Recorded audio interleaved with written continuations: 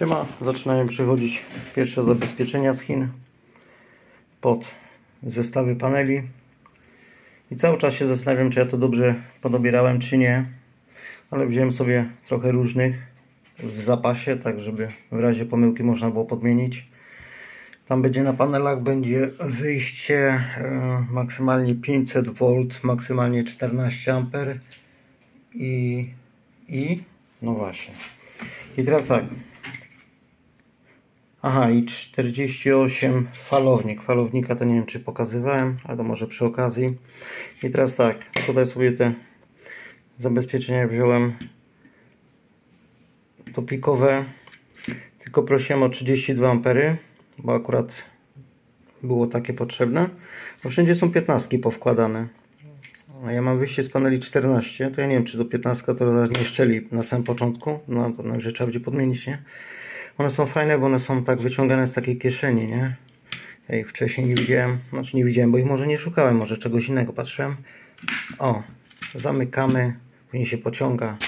Tu sobie wziąłem zabezpieczenie C16, C20, C25. Zobaczymy, które założymy dopiero po podpięciu wszystkiego.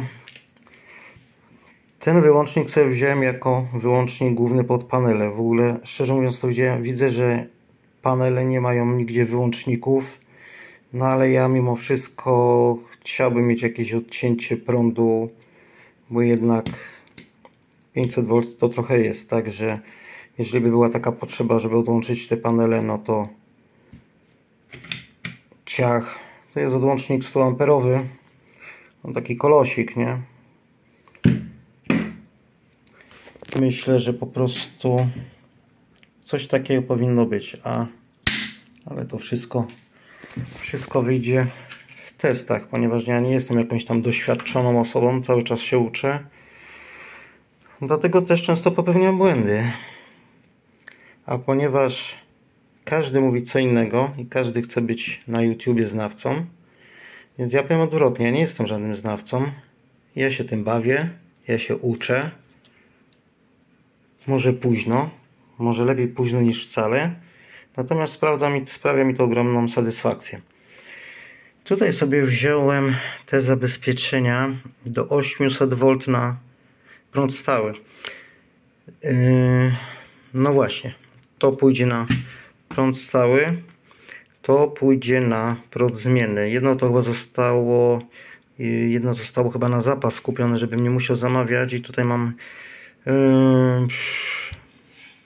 napięcie 385 nie wiem, czy lepiej będzie założyć troszeczkę mniejsze. Będziemy jeszcze myśleć. No. Na razie jest, jest kupione to, co jest, to, co było w ogóle w magazynach y, w Europie, bo no nie za bardzo jest czekać y, dwa miesiące na, na części, więc brałem to z magazynów z Europy. Tam przypuszczam, że z Chin jest dużo większy wybór, ale akurat nie było, nie?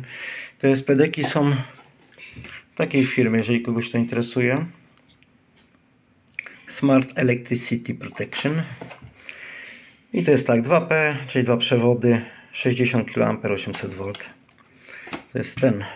A reszta to to samo. To jest też Earu Electric, coś tędy, to jest taka firma. O, są trzy pudełeczka.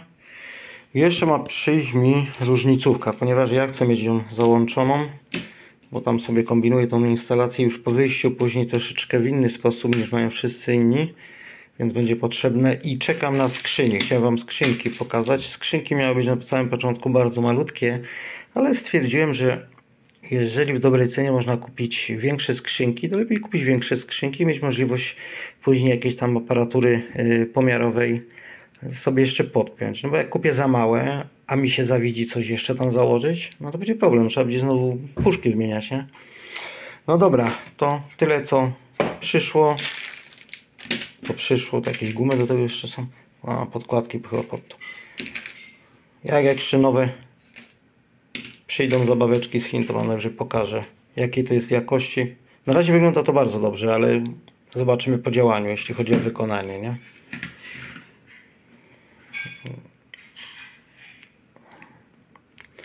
Do not open, underload. Nie otwierać. Dobra, siemaneczko, do usłyszenia.